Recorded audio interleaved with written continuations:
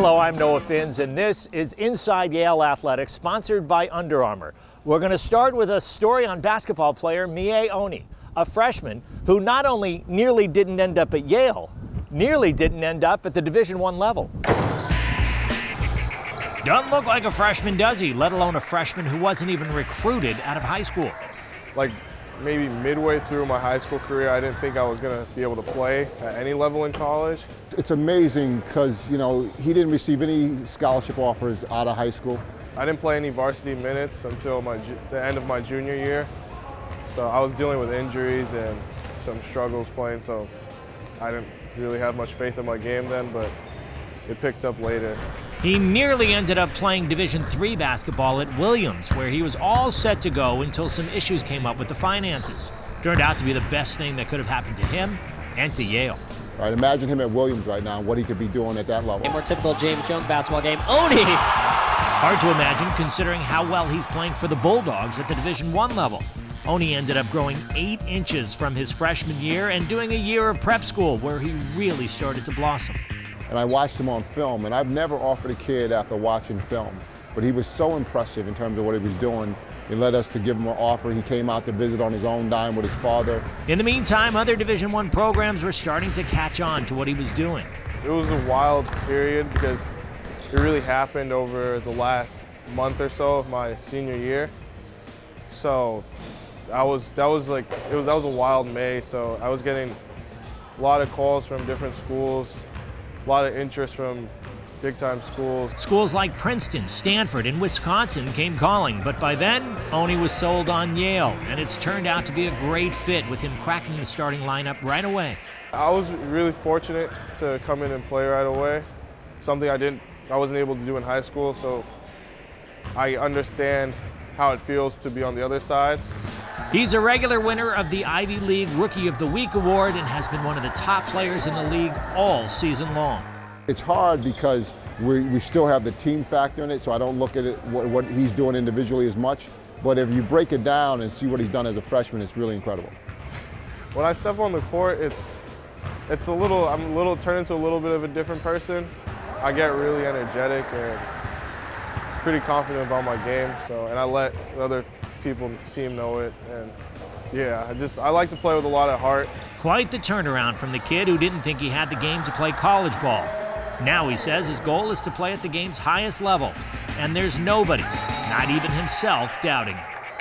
When it starts to get really cold outside, it doesn't bother the rowing team because inside of Payne Whitney Gym, they have a facility that was built a long time ago, but is still state of the art.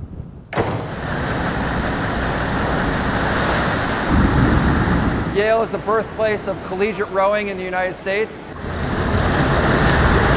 We're blessed at Yale to have this space, no question. Few people know that Payne Whitney was actually a rower at Yale, and when he passed away, his widow wanted to build something in his honor, so she built the Payne Whitney Gymnasium. And of course, the only appropriate, the basement here are three sets of rowing tanks. This building was built in 1931, circa World War II technology. These rowing tanks were state-of-the-art then, but still remain amazing today. And uh, anytime someone's building a boathouse across the country, they come to measure our facility to see if they can replicate these tanks. And usually the end result is they cannot do it. Moving water, you can see the water in motion. And the whole concept of this is to simulate an eight moving up to speed.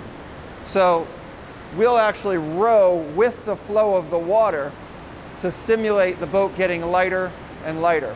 Many programs have rowing tanks, but they're not propelled.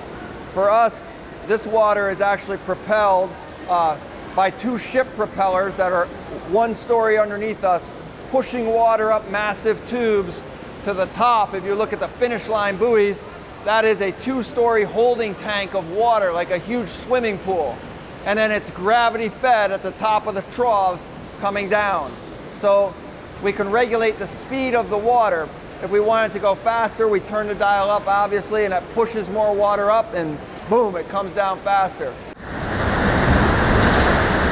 One of the other great benefits of these tanks are the ability for us to coach one-on-one with an athlete. So any given day when we're on the river, I ride in a motorboat, they're out in a rowing shell, we can't come in contact, it's all verbal. Here we can get our hands on the athlete, adjust their position, make sure that they're uh, using the blade properly.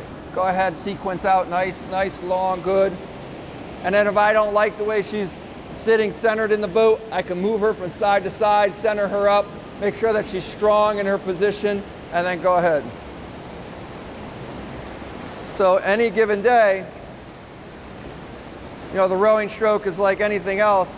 It's a repetitive motion, and we get stuck sometimes with bad habits. And so the hardest thing in all sport is breaking bad habits, and this is a great place for us to work on breaking them down. And the function of the mirrors, when you're on a river, again, there's no mirror around. There's nothing. We, we often videotape on the water and then can look at it quickly. But for immediate feedback in here, Lily can pause at body over, and then she can look to the side and check her body position, make sure she has the angles correct. She has the mirror straight in front of her as well, making sure she's square, and then she can move forward with her stroke.